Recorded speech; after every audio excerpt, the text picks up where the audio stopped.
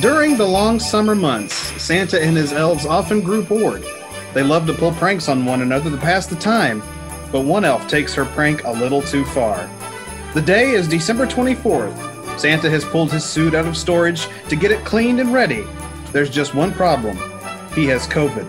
You see, Santa, yeah, you see, Santa is an anti-vaxxer, and he decided that the best thing to do, as the guy who visits millions of children, children around the world, is to not get vaccinated because he thinks he's a ploy to control the world. Even Oh, oh though- oh, yeah, even though he's magical and technically no one would be able to rule him, I mean, think about it. This guy has more power than God himself. He sees us when we're sleeping and all that. I mean, how is this guy afraid of a shot? Can anyone with a brain explain that to me? Anyway, the elves hate the fact that they have to work in this environment of an anti vaxxing boss, so Cheryl, one of Santa's elves, decided to play the ultimate prank.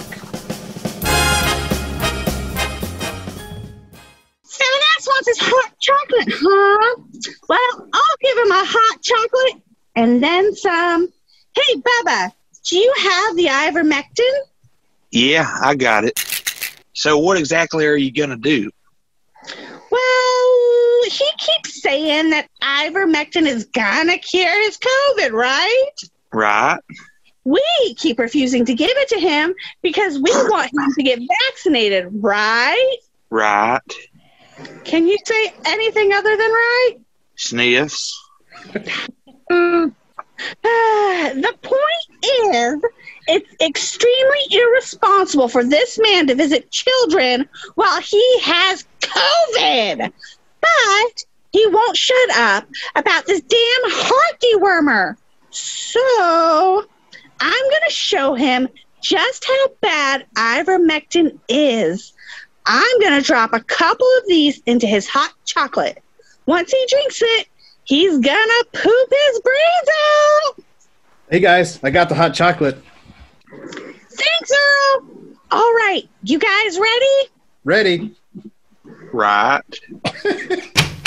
Uh, ho, ho, ho, ho, Cheryl, you equal in the eyes of the law human being. No, no, he Is that says you with my hot chocolate? He says ho. He says ho ho ho. Cheryl, you ho. Fine, you fine, um, Earl, you ho. Is that you with my hot chocolate? No, Santa, it's me. Bubba and Earl, they are here with me too.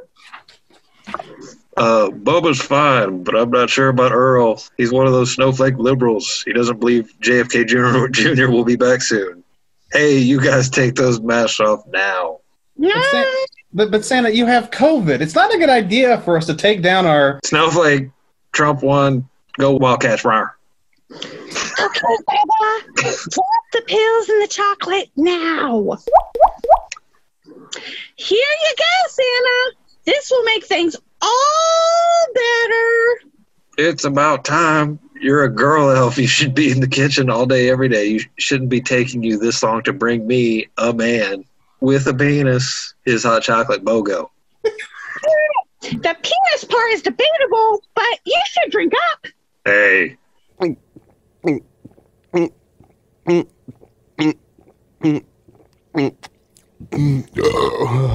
that was good, but not as good as drinking the blood of commie liberal scum.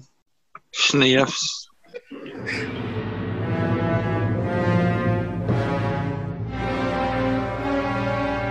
Hey, what's going on here? I feel, I feel really weird.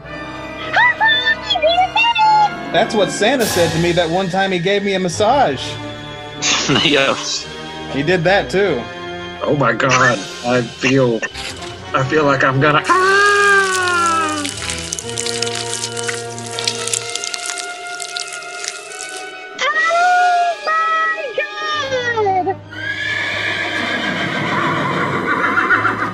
Santa.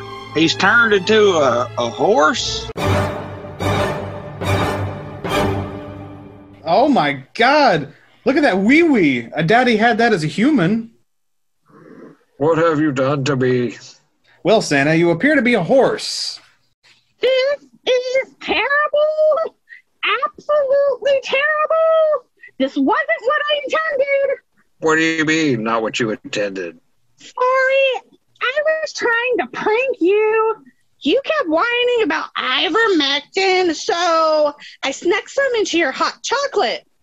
Right? Will you shut up? Sniffs. So let me get this straight. You dirty liberal troglodytes decided to trick me into eating some sort of government funded medicine that Dr. Fauci created in a lab. Oh my God. I forgot this is this terrible. the same lab he created the COVID's in. That turns people into horses. Am I right? Am I? Oh my lord, I need to go check my InfoWars because I'm not saying that name. Please save me. Uh, I'll say it for you. He says, "Oh my Lord and Savior, Kyle Rittenhouse, please save me." No, that, that was my surrogate saying that for me. I'm not saying that line. What on earth is going on here? Honey, look what they did to me. This is what Brandon is trying to do to everyone turn us into horses. they lied to me and said that this is what ivermectin does, but they're lying. Please, oh God. Um, please, um, please get um, Alex Jones on the phone so he can save it's, us. It's Kyle Rittenhouse again. He says, "Please get Kyle Rittenhouse on the phone so he can Let's save us." Oh my out of this, please. God! I know, right? My God. Look at that wee wee. You didn't have that as a human. I knew Hey. it. Nicholas, I warned you about messing around with stuff that's not the vaccine. Now look at you. You're a horse, which means you can't drive the sleigh, which means no toys will be delivered. The children will be so freaking disappointed. That's right, Santa. You need to do better. Do better. Cheryl, Bubba, Earl, since this is, well, basically your fault, you're going to have to fix this. How can we fix it? You three will just have to deliver the presents. Can we hook Santa to the sleigh? Because we don't have any experience doing that. Well, we have no other choice. So Cheryl, Bubba, and Earl got themselves and the reindeer prepared for the long trip around the world. And at the stroke Right. of, right, and at the stroke of midnight, they were off to bring joy and happiness to children everywhere. But not before Bubba did something he would end up regretting. I wonder what this ivermectin stuff would do to an F. Only one way to find out. Okay, guys, you ready? Ready? Sniffs. Oh, here we go. Oh, oh God. Damn, Bubba! Dun took out those pylons that was dividing us from the other elves. Man, Bubba, are you okay? Yeah, I'm fine. I just gotta get back up. And there he goes again. Hmm. Once Bubba got his ish together, they were off into the great beyond. On Dasher, on Prancer, on Dancer and Vixen, on Comet, on Cupid, on Santa, on Donner and Blitzen. Sniffs.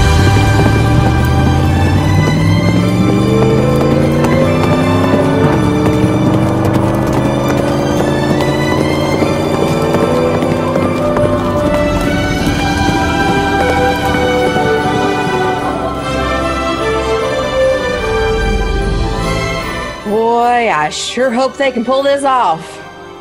The water is turning the frickin' frogs gay.